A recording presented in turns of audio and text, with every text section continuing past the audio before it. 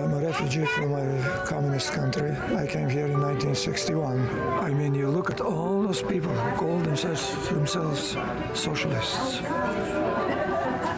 I have to remind every one of them that Hitler's party was called National Socialist German Worker Party.